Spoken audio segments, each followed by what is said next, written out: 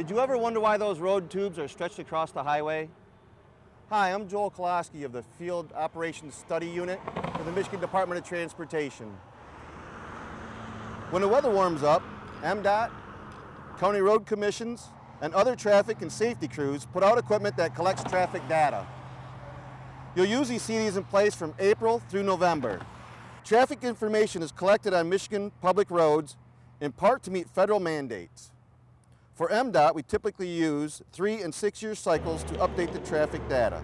These road tubes, or hoses, are connected to traffic counters, which totals the number of axles that cross these hoses.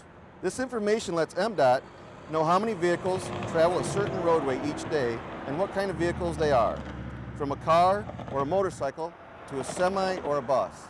There are other technologies too, like pole-mounted radar sensors, cameras counting the number of vehicles, and sensors that are buried in the road. The information from this equipment helps MDOT officials identify potential future roadway projects. MDOT is required to report traffic information on all roads open to the public travel to the Federal Highway Administration.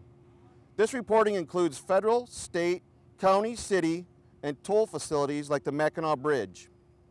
Each state is required to annually furnish all data reporting requirements on the Highway Performance Management Monitoring System, or HPMS.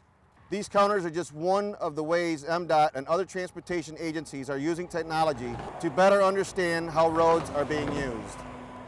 It also is one of many ways MDOT collects data to help us manage our important assets and investments. To learn more about MDOT traffic information, please visit these websites.